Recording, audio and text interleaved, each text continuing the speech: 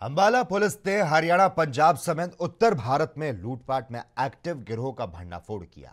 पकड़े गए गैंग के चार सदस्य जम्मू कश्मीर और एक हिमाचल का रहने वाला है। इस गिरोह ने 25 सितंबर को अंबाला के थाना नग्गल क्षेत्र में बंदूक के दम पर सात भीड़ लूटी।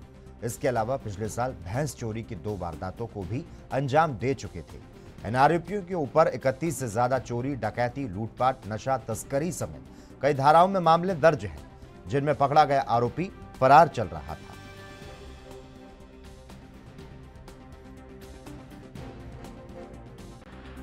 बाला जिला के अंदर, पुलिस स्टेशन नग्गल के अंदर, एक गोरसिया गाँव के रहने वाले मनीष ने 25-26 सितंबर की रात को उसके साथ एक वारदात को अंजाम दिया गया था, जिसमें बंदूक की नोक के ऊपर कुछ लोगों ने उससे साठ भेडें लूट की लूटपाट की थी।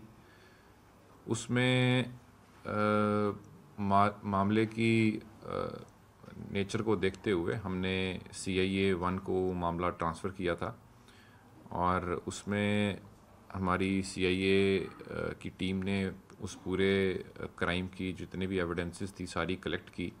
जो गाड़ी उसमें प्रयोग हुई थी उसकी डिटेल्स हासिल की।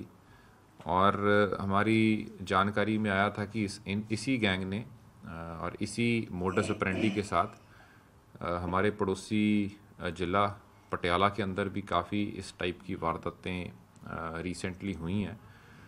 और उसको पूरे को सारी वारदातों को कनेक्ट करते हुए हमारी सीआईए की टीम ने 26 अक्टूबर को इसमें गैंग का जो पहला आरोपी था सलीम, जो कि साहू गदयाली थाना साहू ज़िला चंबा, हिमाचल का मूल रूप से रहने वाला और हाल में वो मेगूवाल थाना, जो कि माहिलपुर ज़िला होशियारपुर पंजाब में पड़ता है, वहाँ पे रह रहा था और उसको गिरफ़्तार करने में कामयाबी हासिल की और उसको पुलिस रिमांड पे लेके और उसके अन्य साथियों के बारे में